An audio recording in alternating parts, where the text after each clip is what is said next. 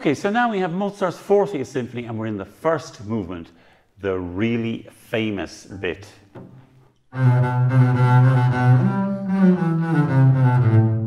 That bit. It's on, it'll probably be almost the first excerpt that any bass player in the world will have to play when they go and do an audition. Why is that? Well, it's a wonderful moment. It's a melodic, significant moment for the basses, and it's also quite tricky. So it's an interesting challenge. Now, I play the opening, and then it goes to this quaver passage, which is quite different, obviously. Then you have a similar pattern to the opening. And more semi uh, more quavers. So I'll talk about these separately. First of all, in many auditions I've heard players come along and play this. They have adopted one or other scenario, neither of which I think is entirely appropriate. If you think of the opening of this symphony, the very opening, it's in G minor and the violins start very quiet. That sort of thing, really quiet. So I've heard players come to this and think, okay, well, this is the basis, it's forte, but we better put it sort of gentle like the violins were. That's not right. It's forte, and it's a really dramatic moment. Mozart put this here to, um, it really creates a, a major turning point in this movement. And so it's forte. However, that does not mean that we then want to go and crash about like that. It's not an out of control forte, it's a Mozart forte. So it still has to have this shape, quality of sound, and phrasing.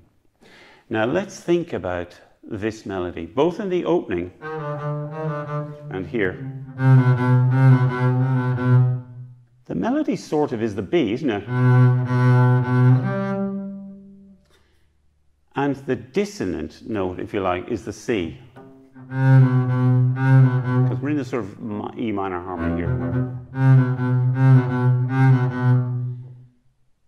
As is normal in sort of dissonant notes, the reason you have a dissonant note there, you sort of want to bring that out slightly. So then you might think, well, okay, I'll do that.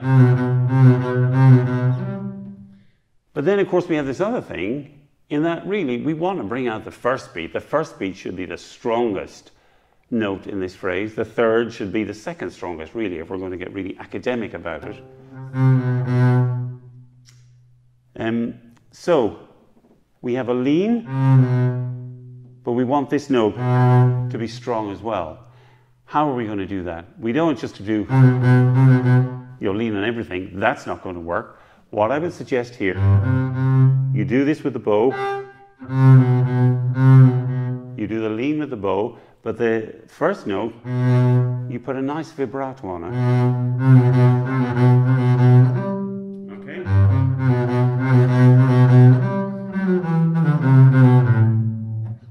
Sudden, that phrase has real life, it has direction. You get that sort of sense of uh, dissonant, dissonancy, and, uh, but you still have that strong first beat. You'll notice the bowing I'm doing is a bow that was used in the Berlin Phil many years ago. It's quite an interesting bowing just because it um, lends itself well to the phrase.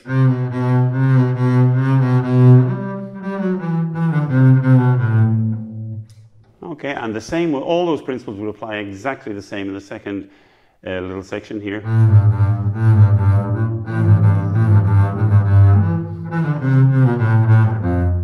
Okay? The quavers, you just need to play the right notes in the right time at the right place. It's just. I would say they have staccatos. So, whereas in uh, other movements, like in, in at letter C, for instance, where we have a long row, and we're going to use a really uh, a, a wide brush stroke, here, with the staccatos and, uh, and the movement in this passage, we don't want, we don't want that. You're going to lose that sort of definition and excitement and movement and rhythm. So this needs